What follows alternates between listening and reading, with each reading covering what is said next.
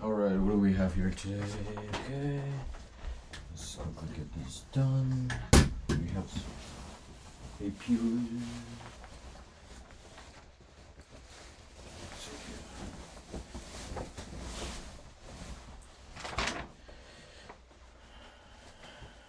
Okay, um, okay, okay, AP, AP US history, AP world history.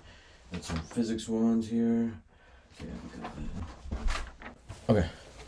Let's see. Okay. Mm-hmm. Okay. Okay. Okay. Let's. Uh huh. Mm-hmm. Okay. Okay. Okay. And okay. Okay. I think we got it. All right. So, hello, welcome to Mr. AP, and today in breaking news regarding AP news, we have a couple things to cover actually. In the la- in the last or recent video, actually the other runner of Mr. AP has covered the changes to AP CSP exam, where they are combating the usage of ChatGPT, and thus are extending the period of the AP exam from two hours to three hours. Uh, where you have to explain your create task, but today we'll be talking about something else, and that something else specifically are several APs that are also undergoing changes, which, if you're not an NPC and use uh, social medias like TikTok or Instagram, may have already heard of them, but bear with me. I'll be covering them um, again, maybe for some of you, or this may be new information for the others.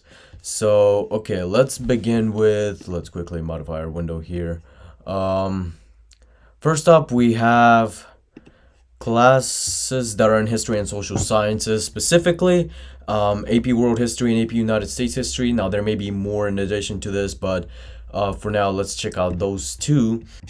Yeah so if we go to the um, course and exam uh, pages and we go down it says the rubric's been updated for the 2023 to 2024 year. So they've specifically updated the dbq and leq to make it much easier for this current year.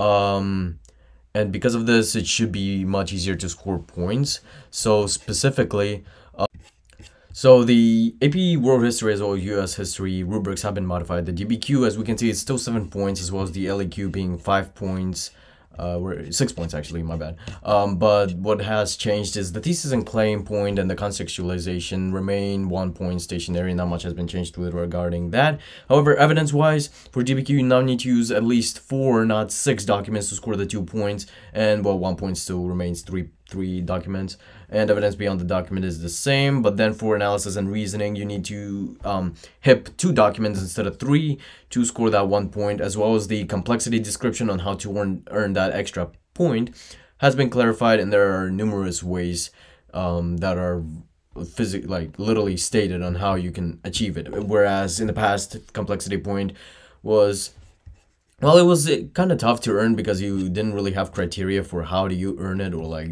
not specific ones. Now you have a more detailed plan. Um, and this goes the same for LEQ. LEQ, now you need to, uh, where is it, where is it? Um, LEQ, there are not that many changes, but I guess there's another description in terms of how to earn that complexity point for analysis and reasoning to earn those two points, more detailed uh, as is DBQ. And this takes place, and this is for DBQ, no, this is for AP World History and AP US History, and this is taking place currently in 2023 to 2024 year.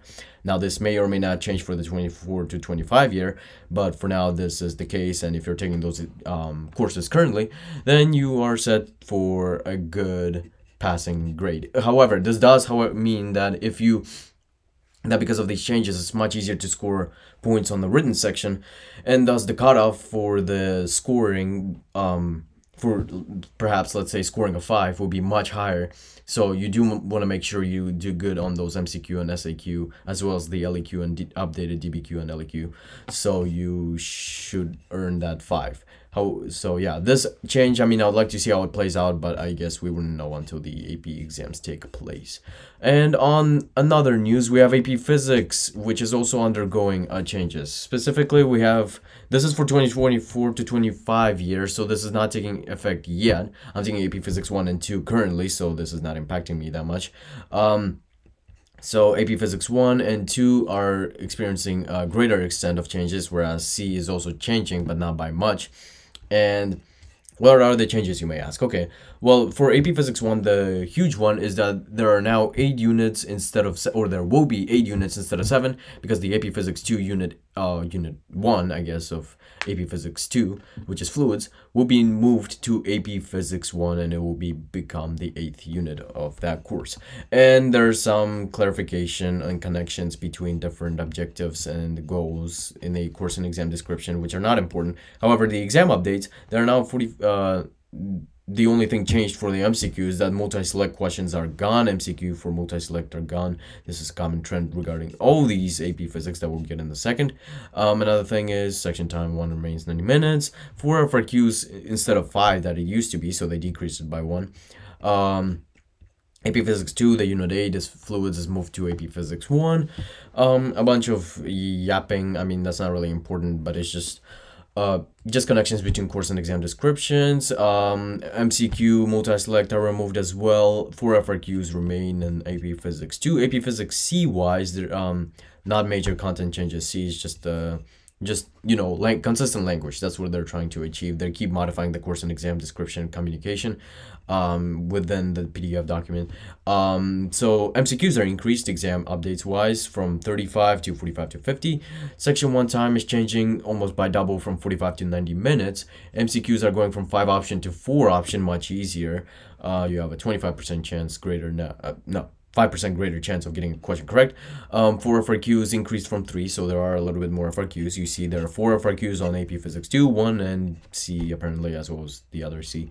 Um, and so yeah, and section 2 time is changing from 45 to 90. So the whole exam is actually increasing by some time from 90 to 180 minutes.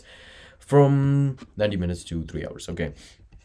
Physics C, electricity and magnetism wise, again, no major content changes regarding Physics C. However, MCQs increased from 35 as well. Uh, section 1 time increasing for MCQ from 5 option to 4 option. And yeah, basically similar to AP Physics uh, C, um, what is it, mechanics. Yeah, mechanics, okay. So yeah, that's about it for the AP news. Um, for this, we covered AP US history and AP world history and how the DBQ and LEQ are changing uh, we covered the AP Physics changes that will take place next school year and how you may be affected by them if you take it next year. I'm taking Physics C, so I may see some effects of this change. Um, and in the last video or last couple videos back, we covered the AP CSP change. So yeah. Thank you all for watching, and I hope you found these news somewhat informative because you may have already knew about these or you are just learning about them, but nevertheless, thank you for watching, and we will catch you in the next video. Peace.